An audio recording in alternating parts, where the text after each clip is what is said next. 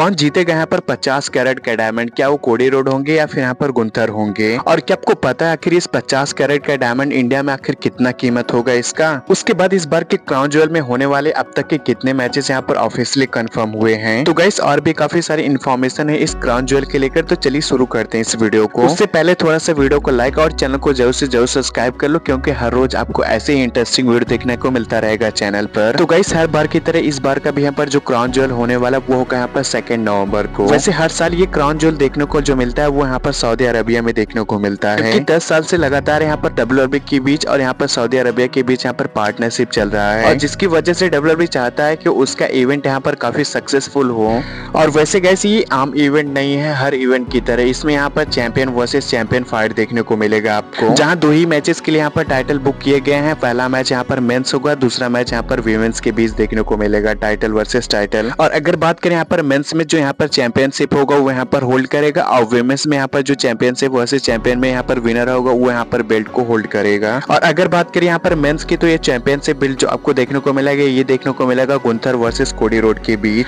और गुंथर जो की इस समय यहाँ पर वर्ल्ड हाईवेट चैंपियनशिप है वहाँ पर फाइट करेंगे कोडी रोड के साथ, जो की इस समय अंडर यूनिवर्सल चैंपियनशिप है रोमरेज को हराकर। फ़िलहाल इनमें से जो विनर होगा, वो होल्ड करेगा यहाँ पर फिफ्टी कैरेट डायमंड का यहाँ पर चैंपियनशिप बेल्ट वैसे गैस हमको पता है की आपके दिमाग में एक सवाल तो ज़रूर से ज़रूर चल रहा होगा आखिर कौन विनर होगा इस मैच में क्या वो कोडे रोड होंगे या फिर गुंथर होंगे वेल इसका जवाब तो आप बताने वाले हो कमेंट बॉक्स में उसके बाद नेक्स्ट अगर बात करें विमेंस के बारे में तो यहाँ पर मैच देखने को मिलेगा यहाँ पर लिव मॉर्गन और नया जैक की बीच वैसे लिव मॉर्गन इस समय यहाँ पर यूनिवर्सल चैंपियन है और बात करें यहाँ पर नया जैक की तो यहाँ पर वर्ल्ड हैवेट चैंपियनशिप है और इनमें से यहाँ पर जो विनर होगा वो होल्ड करेगा यहाँ पर चैंपियनशिप बेल्ट तो गैस अगली बार भी यहाँ पर चैंपियनशिप बेल्ट यहाँ पर हेल्ड करा गया था ट्रिपल एच के माध्यम से और यहाँ पर विनर थे यहाँ पर रोमर रेंज और फ़िलहाल अभी यहाँ पर रोमेज के पास एक भी टाइटल नहीं है तो यहाँ पर वो चैंपियनशिप वर्सेस चैंपियनशिप फाइट नहीं कर सकते। उसके बाद नेक्स्ट अगर बात करें यहाँ पर चैंपियनशिप बेल्ट का प्राइस जो आखिर कितना होगा? वैसे यहाँ पर ट्रिपल जब इसको हेल्ड कर रहे थे तो उनका मानना था कि इसमें पचास कैरेट डायमंड लगा हुआ है। और इसका जो प्राइस होगा, वो होगा यहाँ पर एक हज़ार डॉलर से लेकर यहाँ पर पाँच हज़ार डॉलर के बीच। और अगर यहाँ पर इसको इंडियन रुपीज़ में बात करें तो ये बनता है यहाँ पर पचासी हज़ार से लेकर साढ़े चार लाख रुपए। जो जीतेगा इस चैंपियनशिप बेल्ट को, वो अपने पास रखेगा। गाइस फ़िलहाल के यहाँ पर दो ही मैचेस जो की ऑफिशियली कन्फर्म हुए क्राउन ज्वेल के लिए और ये आपको मैच देखने को मिलेगा सेकंड नवंबर को सऊदी अरेबिया में। तो इस वीडियो में यही सब इन्फॉर्मेशन था तो मिलते हैं आपसे नेक्स्ट वीडियो में, तब तक के लिए स्टेट